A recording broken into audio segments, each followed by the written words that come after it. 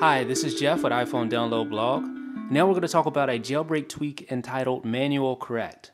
Now, Manual Correct basically lets you type without autocorrect messing up your sentences or just butchering what you're trying to type.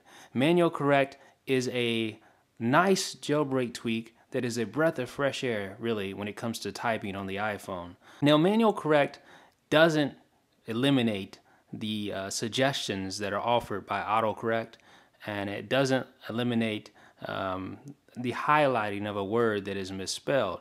Those two options are still enabled, and that's what makes manual correct such a good tweak.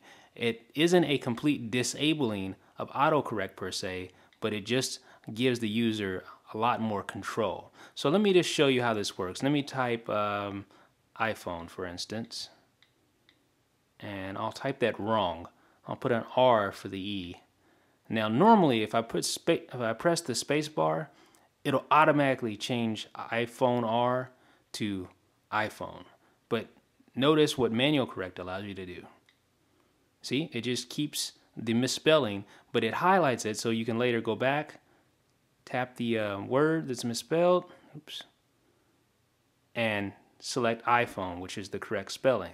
Now another nice thing is that you can use the suggestions that are offered when you type. So for instance, I'm going to type iPhone again and say I know that iPhone is the real spelling of iPhone, not iPhone R. All I have to do is just tap the suggested correction and then bam, there you go.